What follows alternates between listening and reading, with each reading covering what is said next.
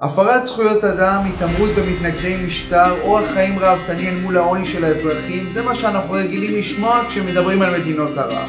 אבל בזמנים קשים כמו עכשיו צריך להראות סולידריות, וגם בעלי הכוח והשררה אצל השכנים שלנו יודעים זאת היטב. أعضاء رئيس وأعضاء مجلس الوزراء وافقنا على اقتطاع 20% من راتبنا لمدة ثلاث أشهر علشان كمساهمة وبادرة ل يعني المساهمة لكل المواطنين חשבתם שמצרים לבד? ממש לא. גם בירדן, אלג'יריה ומרוקו שרים תרמו חלק משכרם, לפעמים אפילו את כולו, הכל בשביל המאבק בקורונה.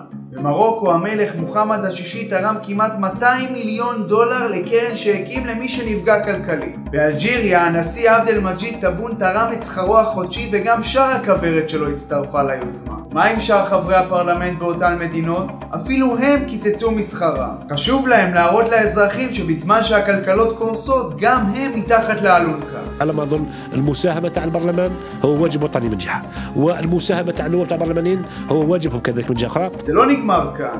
בזמן שמאות אלפי עצמאים בישראל מחכים לבשורות, בעולם הערבי הניסיונות להציל את המגזר הפרטי כבר בעיצומם. בסעודיה למשל, המלך הורה לממשלה לשלם 60% משכרם של העובדים במגזר הפרטי למשך שלושת החודשים הקרובים. בבחריין החליטו לשלם את שכרם המלא, וזה לא הכל. هي المبادرة المعنية بتكفل الحكومة الموقرة بفواتير آه، الكهرباء والماء لأشهر أبريل ومايو ويونيو ثلاثة أشهر هذا لدعم المجتمع אז נכון, תגידו שהצעדים האלה הם יחסי ציבור או פופוליזם זול במדינות שבהן יש לא מעט שחיתות והשלטון לא ממש דמוקרטי. ועדיין, בתקופה שבה המשפחות מאבדות את יקיריהן ואנשים מאבדים את עבודתם, לפעמים הזדהות של המשטר עם המצב הקשה זה כל מה שנשאר לאזרחים, אפילו אם זה רק למראית עין. مشهد آخر من تونس للرئيس قيس سعيد وهو يشارك في حملة توفير الأطعمة للمحتاجين في تونس המנהיגים באזור כבר רואים באופק את מוצאי תקופת הקורונה, והיא הולכת להיות קשה, בעיקר במישור הכלכלי.